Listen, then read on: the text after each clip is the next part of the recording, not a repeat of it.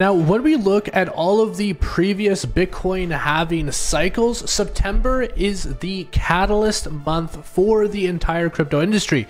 Yes, we're talking about XRP, Solana, BNB, Ethereum, and all these other cryptocurrencies seeing massive swings in movement at a very specific time during this halving cycle I just mentioned. And because the halving cycle has started this year, well, we have a lot to look forward to for Bitcoin, for XRP, and virtually virtually every single other cryptocurrency. But today's video, I'm going to be showing you guys the exact cycle, how it starts, when Bitcoin is likely to go to $100,000 or even more, and when all of that liquidity is going to start pouring down to Ethereum, to XRP, and all of your other favorite cryptocurrency assets, because this is going to be explosive and it's likely to be different than any previous bull cycle before because of a couple key metrics we're also going to be talking about in today's video. So hit that like button so everybody sees this and let's get into it. So I'm going to start by showing you guys something I have never shown you before. It's my little secret that really shows pretty much by default when any single uh, cryptocurrency or stock market or real estate boom is about to happen. And it's something simple, okay?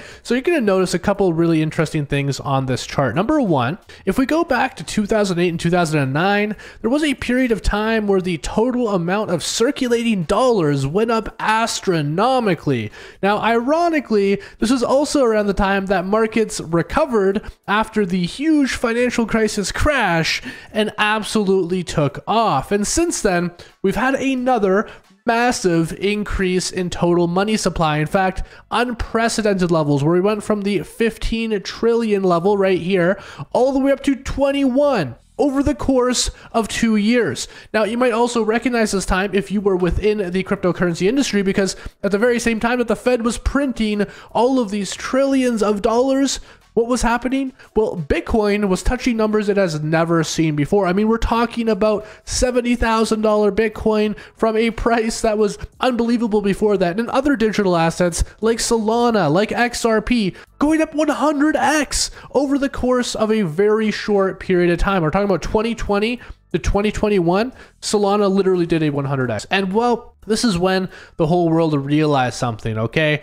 When the Fed is printing money, that money has to go somewhere. And smart investors, what they do is they invest that money into an asset class that allows them to preserve their wealth. And many people see Bitcoin as a way to do that. Many people saw Solana as a way to do that. Many people saw XRP as a way to do that. And that's precisely why those assets absolutely climbed up. But I want to show you guys a very specific point in this cycle right here. 2020, February, a couple months later, May of 2020, the supply absolutely skyrockets over the course of three or four months. It goes from 15 all the way up to 18. Okay, that is insane. This has never happened in the history of the world. This is the more money printing the world has ever seen before. Okay, and that that money printing continued all the way up until February, March of next year before we finally saw those interest rates starting to come up, which of course decreased the circulating supply. And since then, it's been holding more steady than before, but still a little bit of a concerning time, right? A lot of people were uncertain of where the economy was headed, but let's just look at what crypto was doing at this very same period of time and how long it took for Bitcoin to start climbing once that printing started in February of 2020. And so this is where we see something incredibly interesting happen, okay? The Fed starts printing money and the immediate effect on the market for Bitcoin right here is it goes from $10,000 down to almost $5,000. It loses nearly 50% of its value. But what happens immediately after it loses nearly 50% of its value is where all the millionaires and even some billionaires were made. It goes from $5,000 per coin just, you know, a year later, quite literally a year later after the printing started, to 60 thousand dollars per coin okay five thousand to sixty thousand i mean it doesn't take a mathematician to realize that if you had bought a lot of bitcoin at five thousand dollars you would have made a disgusting amount of money. But what was more disgusting was what a lot of altcoins did just a little bit later on in the cycle in the following, you know, 10 months after Bitcoin hit that all-time high.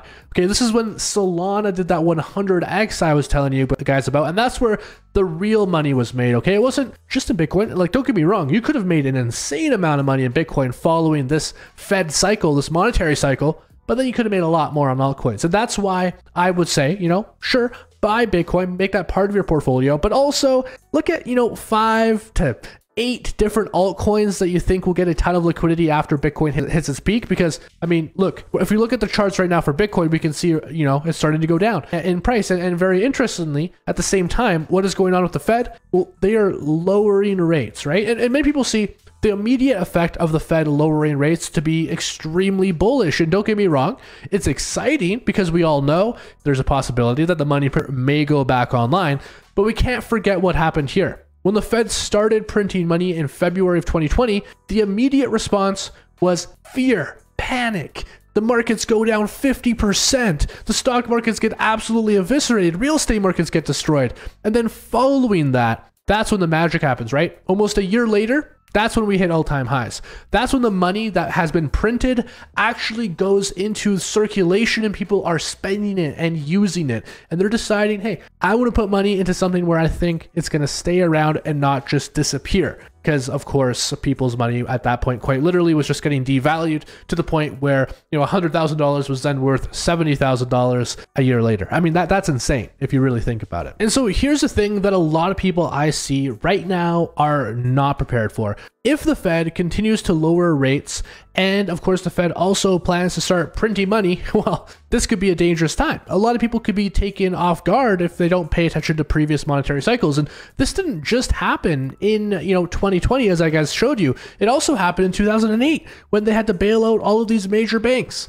right? It's happened time and time again. And generally these monetary cycles pretty much perfectly aligned with the Bitcoin halving cycles too. And maybe people get confused on this. They think, okay, is this the Bitcoin halving cycle or is this the M2 monetary Federal Reserve cycle? And the unfortunate answer is it is indeed the M2 Federal Reserve cycle. They're the ones who start all of this because they're the ones who print money and devalue the currency and force people to find better alternatives than the US dollar to store their wealth. So here's the thing interest rates will most likely continue to come down. But many people are thinking, and, and about 90% of the market think, okay, lower interest rates, price goes up. But that's not, it's not as simple as that. Sure, the price will go up maybe a year later once we hit that bottom in terms of interest rates and maybe the money picture goes back online. But that's not going to last forever, guys. You know, we're going to see a big, massive dump initially and that's where you guys want to be prepared to buy. I mean, this even happened last Bitcoin bull cycle, for goodness sakes. We look at here,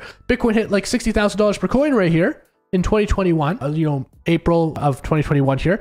Boom, you know, just like three months later, it's at $32,000 per coin. Once again, it almost loses 50% of its value. And I think we're about to encounter the same thing here, guys. I think that Bitcoin is about to be down 50% from its peak of 71,000. And then we're going to get the second leg up and hit the true all time high. And that's when we actually hit our all time high of the cycle. And that's when the altcoins actually get all of their liquidity. Now, how many months away are we from the peak of our cycle right here? Well, we're about five months down the road from the peak of our cycle here. About four months right now, actually. It was September, we hit our peak, you know, around May here, right? So we're about four months. So maybe it's going a little slower than it did before. We're at 56,000 from a 71,000 peak, right? But I think, in all honesty, guys, I think that probably the next little bit here is going to be a little bit of red price action, right? That's something we all want to prepare for. I closed out all of my long Bitcoin positions. I made my money, and now I'm just waiting to see how the markets are going to react right now. And, you know, I'm ready to buy. I'm ready to buy a lot. I'm sitting on a lot of cash because I'm ready to buy altcoins. And and here's a beautiful thing, guys. And here's the thing, if you don't want to take risks, just right now is not a great time to buy Bitcoin, but it is a great time to buy XRP you could buy XRP, right? Because if you look at previous cycles, what you'll notice is that, yes, Bitcoin did have that 50% drop, but most altcoins didn't. They're a lot less volatile. And XRP supports this. If you look at XRP's relative performance when compared to Bitcoin, it's actually outperforming Bitcoin on most days. And it's held a much more consistent price than Bitcoin as well. So it's really safe to dollar cost average onto XRP and even leverage trade XRP right now. So that's where all of my focus is. I'm waiting on the Bitcoin buys for a while. I'm buying a lot of XRP. And if you guys want to leverage trade with me, well, you guys can do that. And guess what? Right now, there's an awesome competition on Margex, my channel partner, where if you guys trade, you're going to get access to this massive pool of rewards. And the more you trade, the more rewards you'll get by the time this competition is over. Right now, based off of all of your guys' trading volume through my link, we're at over $5,000 in the rewards pool. And you guys can make that rewards pool a lot bigger by just continuing to trade. So if you want to open up some long positions on XRP right now because you're bullish on, you know, the next movements of XRP, well, feel free to use my link down below, open up some positions. I know I'm going to open up some long positions on XRP very soon. And shout out to you guys who have been trading away because you guys have got a pretty big rewards pool for you guys all loaded up there. But yeah, overall, guys, there's a lot of insane stuff that's on the horizon here. I think the biggest message we need to understand from all of this is money printing initially is bad. You know, it causes massive dumps. But what happens when that money gets into circulation right after is absolutely incredible. And that's what we need to wait for here. Interest rates will come down, and once they get to a certain point, the Fed will likely be forced to print money. And when they do that, you want to be ready to have cash on hand. You want to be ready to buy that dip. Because if you do, well, you can make 100x on certain altcoin assets and you can make, you know, over 10x on Bitcoin even, which is absolutely amazing. And that's what I'm really waiting for. Now, when exactly is this going to happen? Well, it's likely that we'll hit our peak mid 2025. And, you know, honestly, I would buy Bitcoin at this price because I know it's going to go a lot higher in the future. It's going to likely go over $100,000 per coin. And yeah, I'm ready for that. I am prepared. I'm ready. I, and I'm happy to buy Bitcoin even at 56,000. Now, leverage trading is a different story. I'm not going to be going leverage long on Bitcoin at this moment because I do know it could get very volatile. With all that being said, guys, smash the like button and subscribe if you enjoyed the content. And also sign up on Margex and trade some XRP, maybe short Bitcoin, do whatever you want because you'll get access to a massive rewards pool for the trading uh, game that's currently going on. And I'll see you guys next time. Peace out.